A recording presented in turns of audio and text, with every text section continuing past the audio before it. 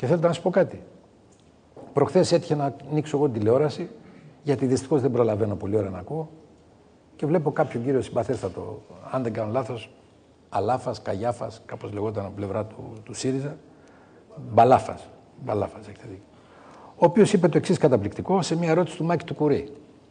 Του λέει: Και τι θα γίνει, ρε, φίλε, του λέει ο Μάκης, εάν η Τουρκία αντιδράσει σε αυτό το πράγμα και τα λοιπά που πας να κάνεις. Και λέει: Το εκπληκτικό θα το ρισκάρουμε. Και μου ήρθε στο νου η συνέντευξη Τσίπρας στου Times της Νέας Υόρκης, ο οποίος λέει ότι παίζει πόκερ κτλ. κτλ, κτλ. Ευγενές άθλημα το πόκερ, δεν έχω κανένα πρόβλημα κτλ. Την άλλη πατάει το κουμπί, λέει το, το ατομικού αντιδραστήρα και θα φύγει η βόμβα. Το πόκερ και τη διακινδύνευση σπίτι σου. Όχι με την Ελλάδα. Αυτά δεν παίζονται. Είναι ζητήματα τα οποία δεν παίζονται. Και επιτρέψτε μου ακόμα να πω ένα θέμα.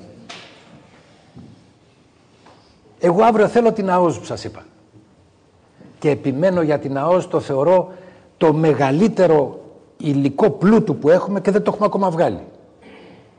Αν εγώ δεν έχω το ΝΑΤΟ, δεν έχω την Ευρώπη και αντίθετα πρέπει να τα έχω καλά με την Τουρκία που εκεί έχω το πρόβλημα.